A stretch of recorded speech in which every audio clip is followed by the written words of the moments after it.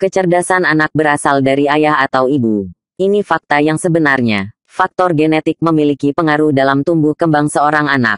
Selain dari faktor asupan gizi dan nutrisi, ternyata bentuk tubuh, wajah hingga kecerdasan itu diturunkan dari orang tua. Secara fisik, bentuk tubuh dan wajah tentunya mudah diketahui asal-muasal genetiknya. Misal, jika ayahnya berhidung mancung, ibunya berhidung pesek, lalu memiliki anak yang hidungnya pesek, cukup mudah disimpulkan jika hidung pesek itu berasal dari genetik ibunya. Namun untuk urusan kecerdasan, tidak semudah itu menyimpulkannya. Populer. Tapi, kini sebuah penelitian mengungkapkan bahwa kecerdasan anak sebenarnya diturunkan dari ibunya.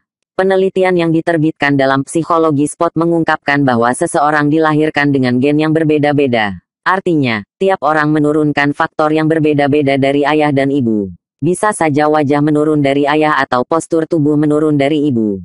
Namun, khusus gen kecerdasan memang biasanya menurun dari ibu. Gen kecerdasan berada di kromosom X. Sedangkan diketahui bahwa wanita membawa dua gen kromosom X. Artinya, anak akan lebih mungkin mendapatkan kecerdasan mereka dari ibu.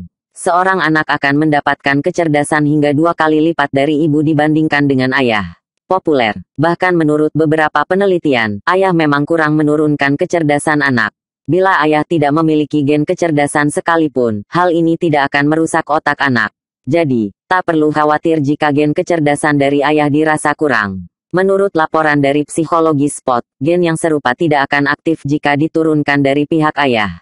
Kondisi kecerdasan anak menurun dari ibu juga semakin dipertegas oleh penelitian oleh Medical Research Social Council.